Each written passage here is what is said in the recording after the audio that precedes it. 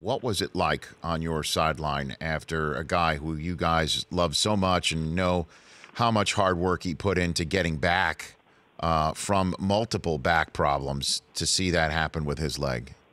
Yeah, I mean it's you know it feels terrible for him. Like you said, he he put in so much work uh, to get back, and we felt like he was back to um, you know what he's been, and uh, so you you hate to see that for uh, for a guy that um, that has had to go through so much like he has. So uh, you know that was tough.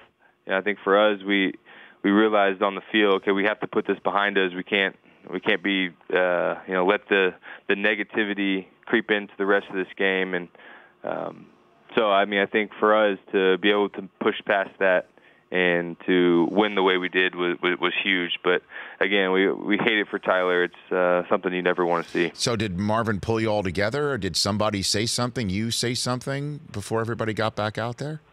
Yeah, at, you know, at, at that point in the huddle, it's like, you know, obviously it it sucks for him, but we, we've got to keep going. You know, the the game still has to go on, so we've got to get our mind right. And um, you know, it, it didn't happen right after it happened. We went three and out, and then they blocked the punt, so it didn't it didn't work out just then. But uh, you know, we we kind of got it back at the end of the game, and. Um, and we're able to, to win it. The Rich Eisen Show, weekdays at noon Eastern on Audience.